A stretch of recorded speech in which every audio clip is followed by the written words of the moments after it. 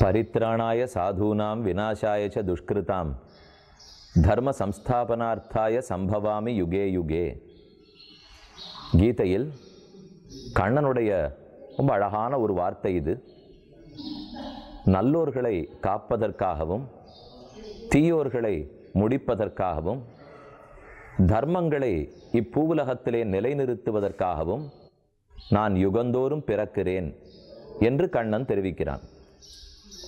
எம்பெருமானுடைய அவதாரங்கள் எண்ணிறந்தவை. மீனோடு ஆமை கேழல் அரி குரலாய் முன்னுமிராமனாய் தானாய் பின்னுமிராமனாய் தாமோதரனாய் கற்கியுமானான் என்று தசாவதாரங்களாக நாம் கொண்டாடுகிறோம். ஓரோர் அவதாரத்துக்கும் ஓரோர் ஏற்றம். ஆனால் எக்காலம் வந்தாலும் எல்லா மனிதர்களும் தங்களுடைய வாழ்க்கையை செம்மைப்படுத்திக் கொள்வதற்காக ஒரு சிறந்த சாஸ்திரத்தை கொடுத்து போன அவதாரம் உபதேசத்தை கொடுத்து போன அவதாரம் ஸ்ரீ கிருஷ்ணாவதாரம் அவன் ஒருத்தருக்குத்தான் கீதாச்சாரியன் என்கிற திருநாமம். கீதையை கொடுத்த ஆச்சாரியன் அல்லவா? பெருமான் பரம்பொருளாக இருந்தாலும் இப்பூவுலகத்திலே பிறந்து நம்மிடத்திலே கருணையாலே கொடுத்து போனது கீதை என்னும் செம்மைப் பொருள். அந்த கீதை மகாபாரதத்திலே அடங்கினது வேதவியாசர் எழுதியது மகாபாரதம். பாரத பஞ்சமோ வேதகான்னு சொல்லுவார்கள்.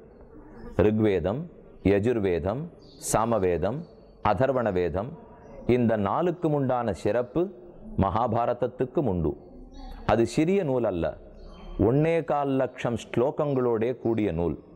ராமாயணம் இருபத்தி நாலாயிரம் ஸ்லோகங்கள். ஸ்ரீ பாகவதம் என்னும் புராணம் பதினெட்டாயிரம் ஸ்லோகங்கள். அவை எல்லாவற்றை காட்டிலும் பெரியது மகாபாரதம். ஒன்னே கால் லட்சம் ஸ்லோகங்கள்.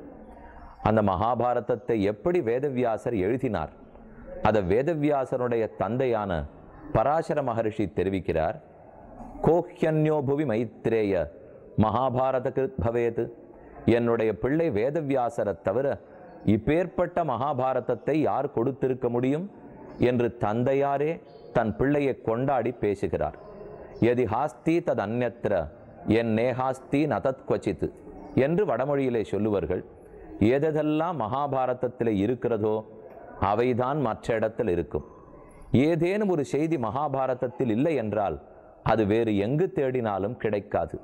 அப்படி பெருமை பெற்ற மகாபாரதம். ஆனால் நமக்கோ நேரமும் குறைவு ஞானமும் குறைவு அப்படி இருக்கும்போது வடமொழியிலே இருக்கக்கூடிய மகாபாரதத்தை அவ்வளவு பெரிய மகாபாரதத்தை நாம் எப்படி கற்க? அதை கற்க நம் வாழ்க்கையை செம்மைப்படுத்தி கொள்ள முடியுமா? என்று யோசித்தால் அதற்காகத்தான் நம் பெரியோர்களெல்லாம் கூடி மகாபாரதத்தை நன்றாக சலித்தார்கள். சலித்து விட்டால் நமக்கு தேவையான பங்கு மட்டும் கிடைக்கும் அல்லவா? புரியறதுக்காக விண்ணப்பிக்கிறேன். ஸ்ரீ ஜெயந்தி கிருஷ்ண ஜெயந்தி வரும்போது நாலு படி பால் வாங்குகிறோம். பாலை அடுப்பிலே ஏற்றி சுண்ட காய்ச்சுகிறோம். பால் கோவா திரட்டு பால் கிடைக்கும். அது நாலு படி இருக்குமா? கால் படி தான் தேரும். ஆனால் எது சுவையிலே அதிகமாக இருக்கும்? நாலு படி பாலை விட தண்ணீர் அகற்றப்பட்ட திரட்டு பாலுக்குத்தானே சுவை அதிகம். அதே போல் ஒன்னே கால் லட்சம் ஸ்லோகங்கள்ங்கிற பத்து படி பால். அதை அடுப்பில் ஏற்றி சுண்ட காய்ச்சி நமக்கு வேண்டிய சாரத்தை மட்டும் எடுத்தோம் என்றால் ரெண்டே ரெண்டு பாகங்கள் தான் தேரும். ஒன்று பகவத்கீதை மற்றொன்று விஷ்ணு சஹஸ்ரநாமம். இந்த ரெண்டைத்தான் நாம் இரண்டு கண்களாக கொண்டு வாழ்க்கையை அமைத்து கொள்ள வேண்டும். ஒன்று கண்ணனே பேசினது மற்றொன்று கண்ணனை பற்றி பீஷ்மாச்சாரியர் பேசினது. இரண்டுமே வாழ்க்கைக்கு உதவக்கூடியது. அதில் இப்போது நாம் பார்த்து கொண்டிருக்கிற பகவத்கீதை அது மகாபாரதத்திலேயே சாரமானது. வேதேஷு பௌருஷம் சூக்தம் தர்மசாஸ்திரேஷு மாணவம் பாரதே பகவத்கீதா புராணேஷு ச வைஷ்ணவம். புராணங்களுக்குள்ளே விஷ்ணு புராணத்துக்கு ஏற்றம். ஸ்மிருதிகளுக்குள்ளே மனு தர்ம சாஸ்திரத்துக்கு ஏற்றம். வேத பாகங்களுக்குள்ளே புருஷ சூக்தம் சீர்மை பெற்றது. அதே போல மகாபாரதத்துக்குள்ளே மிக உயர்ந்தது கீதைன்னு சொல்லுவார்கள். எல்லா உபனிஷத்துக்களையும் தேர்ந்தெடுத்துத்தான் கண்ணன் இந்த கீதையே நமக்காக கொடுத்தான். அவன் எப்படி கொடுத்தான்ங்கிறதை இந்த ஸ்லோகம் ரொம்ப அழகாக விளக்கும். இந்த உபன்யாச தொடரிலே ஆங்காங்கு வடமொழி ஸ்லோகங்களை சொல்ல வேண்டிய நிர்பந்தம் உண்டு. அதனாலே வடமொழி தெரியாதேன்னு கவலைப்பட வேண்டிய தேவையே இல்லை. அவை எல்லாற்றையும் நமக்கு பேர் தெரிந்த தெள்ளு தமிழிலே நம் பெரியோர்கள் எழுதி வைத்து போயிருக்கிறார்கள். அதனாலே எங்கெங்க தேவையோ மிக குறைவாக ஸ்லோகங்களையும் சொல்லுகிறேன். அதற்கு தமிழில் புரியும்படியாக பொருளையும் சொல்லுகிறேன். நமக்கு முயற்சி இருந்ததென்னால் எந்த அர்த்தமும் கண்டிப்பாக புரியும். சர்வோபனிஷதோ காவக தோக்தா கோபாலநந்தனः பார்த்தோ வத்சக சுதீர் போக்தா துக்தங் கீதாமிருதம் மகது இது அந்த ஸ்லோகம். எல்லா உபனிஷத்துக்கள் வேதாந்தங்கள் எத்தனை செறிந்த பொருள்கள் நிறைந்தவை. அந்த வேதாந்தங்களை எல்லாம் பசுமாடுகளாக அமைத்தானாம் எம்பெருமான். மாடு இருந்தாலே அதை கறப்பதற்கு இடையன் வேண்டுமே. கண்ணனே இடையனாக அவதரித்தான். மதுரப்பட்டணத்திலே பிறந்து வடமதுரையிலே பிறந்து ஆய்ப்பாடியான கோகுலத்திலே சென்று வளர்ந்தான். இடைக்குழந்தையாகத்தானே கண்ணன் வளர்ந்தான். ஆடுமேடுகளை மேய்ப்பவனாகத்தானே வளர்ந்தான். ஆக அவர்தான் பசுமாட்டை கறக்கப் போகிற இடையன். ஆனாலும் மாடு பால் சுரக்க வேண்டுமென்னால் கன்றுக்குட்டியை பார்த்தா தான் பால் சுரக்கும்.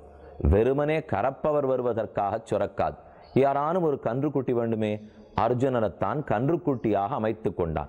எல்லா உபனிஷத்துக்களும் பசுமாடுகள் கண்ணன் தான் கறக்கப் போகிறான். கன்றுக்குட்டி அர்ஜுனன். இனி பால் வர வேண்டுமோ இல்லையோ அந்த பால் தான் கீதை என்னும் உபனிஷத்து. பாலாக அமிர்தமயமான உபனிஷத்தான கீதையை நமக்கு கொடுத்தான். எத்தனையோ உபனிஷத்துக்கள் இருக்கலாம். இதற்கு கீதோபனிஷத் என்று பெயர் வைத்தார்கள். ஆக மிக உயர்ந்த பால் கையிலே உள்ளது. கன்றுக்குட்டி இருந்தால் தான் பசுமாடு பால் கறக்குமே தவிர பாலை அத்தனையும் கன்றா குடிக்கிறது. யாருக்கெல்லாம் ஆசை இருக்கிறதோ அவர்கள்தானே தானே பருகுவர்கள் அதனால் இந்த கீதை என்பது ஓர் அர்ஜுனனுக்காக கொடுக்கப்பட்டதல்ல. அவன் ஒரு காரணம். ஏதோ ஒன்று வேண்டாமா ஒரு விஷயத்தை வெளியில கொண்டு வருவதற்காக. அதற்குத்தான் கண்ணன் அர்ஜுனனை வியாஜமாக கொண்டானே தவிர சாதாரணமா ஒரு சாக்கு வேணும்னு சொல்றோம் இல்லையோ அதே போலத்தான் ஒரு காரணமாக கொண்டு அர்ஜுனனுக்கு கொடுத்தான். அப்ப ஆர் அந்த பாலை குடித்து மகிழலாம். யாருக்கெல்லாம் பால் குடிக்க வேண்டும்ங்கிற ஆசை இருக்கிறதோ அன்பர்கள் அத்தனை பேரும் குடித்து மகிழலாம்.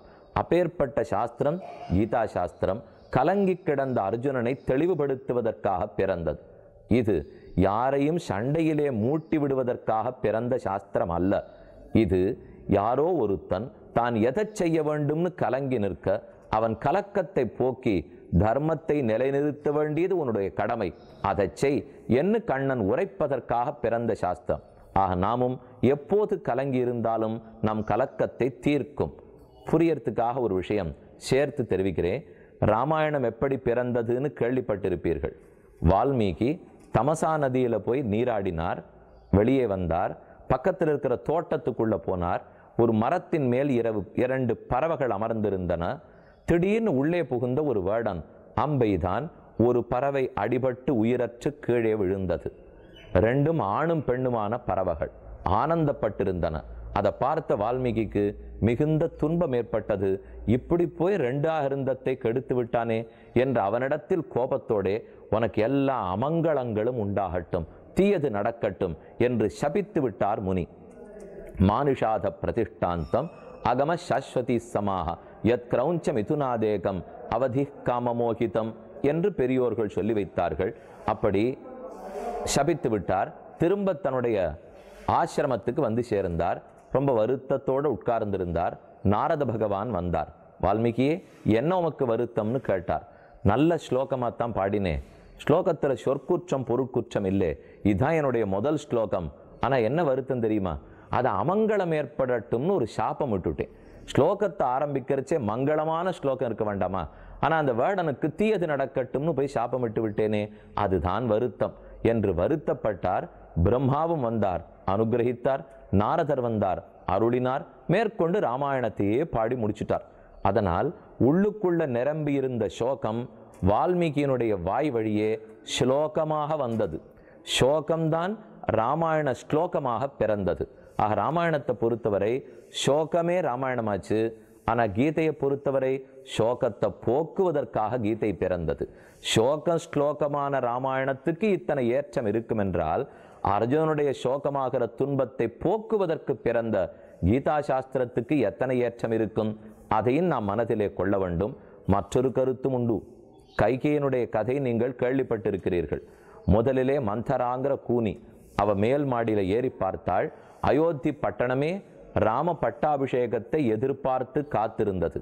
அவளுக்கு உடனே எரிச்சல் மூண்டது. அதெப்படி பரதனுக்கு பட்டம் கட்டாமல் ராமனுக்கு பட்டம் என்கிறார்கள்? மேலேருந்து கிடுகிடுன்னு கீழே இறங்கி வந்தா கைகியின் இடத்துல போனாள் நீ கெட்டே போனாய் உன் பிள்ளைக்கு பட்டம் இல்லையாம் என்று வேணும்னு பேசினாள். கைகை உடனே சொன்ன பதில் என்ன தெரியுமா? ராமேவா பரதேவா விசேஷம் நோபலக்ஷயே எனக்கு ராமனுக்கும் பரதனுக்கும் வேறுபாடு தெரியாது. மந்தரா என்ன சொல்லுகிறாய்? என் பிள்ளை ராமனுக்குத்தான் பட்டம்னு தசரதன் சொன்னாரே. என்று முதலிலே பேசியிருக்கிறாள் கைகை. இதிலேருந்து நாம புரிஞ்சுக்க வேண்டியது ராமனைத்தான் தன் பிள்ளையாக நினைத்து வைத்திருந்தாள். அவள் மனசை கலக்கிவிட்டா மந்தரை. கலக்கியமா மனத்தனலாய் கைகேசி வரம் வேண்ட மலக்கியமா மனத்தனனாய் மன்னவனும் மராதொழிய. குலக்குமரா காடுரையப்போ பிற்பாடுதான் தசரதன் ராமனை காட்டுக்கு அனுப்பி வைத்தான். எத்தனையோ சொல்லி பார்த்தான் கைகைக்கு. உன் மனசை மாற்றிக்கொள். ராமனையே தான் பட்டாபிஷேகம் பண்ணி வைப்போம். என் இத்தனை சொன்னான். ஆனால் முதல்ல ராமன் தான் பிள்ளைன்னு நினச்சிருந்த கைகையை சட்டுன்னு மனசு மாறிவிட்டாள். அவள் மனது மாறினபடியாலே தான் இவ்வளவு பெரிய ராமாயணமே பெற்றோம். அவள் மட்டும் ராமன் தான் என் பிள்ளை. அப்படின்னு இருந்திருந்தாள்னா நமக்கு ராமாயண கடையே கிடச்சிருக்காது. எதுக்காக சொல்ல வந்தேன்னா இப்போ அர்ஜுனனுக்கு சந்தேகம். எதிரே நிற்பவர்களோடு நான் போரிட மாட்டேன். சொல்ல ஆரம்பித்தான். போரிட வேண்டும். கண்ணன் தெரிவித்தான். சரின்னு உடனே மட்டும் அர்ஜுனன் ஒத்துக்கொண்டிருந்தால் கீதை பெற்றிருக்க முடியாது. நான் போரிட மாட்டேங்கிறதுல பிடிவாதமா மனதை மாற்றிக்கொள்ளாமல் நின்றான் அல்லவா? மனசு மாறாதிருந்ததுனாலே கீதை கிடைச்சது. மனசு மாறினதுனாலே ராமாயணம் பெற்றோம். ஆக யாரோ ஒருத்தர் அவர்களுடைய அருளாலே தான் நாம் இத்தனையும் பெறுகிறோம். அந்த கீதா சாஸ்திரம் கண்ணனாலே அர்ஜுனனுக்கு உபதேசிக்கப்பட்டது. எப்படி உபதேசித்தான்? எப்போது உபதேசித்தான்? வேகமாக சொன்னானா? எழுநூறு ஸ்லோகங்களை எத்தனை நேரத்தில் சொல்ல முடியும்? ரெண்டு பேரும் சண்டை போட்டுடுறதுக்காக காத்துட்டுருக்கிறச்சே கொஞ்சம் நில்லுங்கோள். நான் உங்களுக்கு உபதேசம் பண்ணுறேன் உபன்யாசம் பண்ணுறேன் ஒரு ரெண்டு மணி நாள் கேட்டுட்டு அப்புறம் சண்டை போடுங்கன்னு சொன்னால் ஆறு தான் கேட்டுக்கொள்வார்கள். அப்போ எழுநூறு ஸ்லோகத்தை எப்படி சொல்லியிருக்கணும்? மனதோடு மனம் பேசித்தா வாயோட காது பேசித்தா எப்படி பேசிற்றுங்கிறதை இன்று வரை யோசித்து கொண்டிருக்கிறோம். மேலே பார்ப்போம்.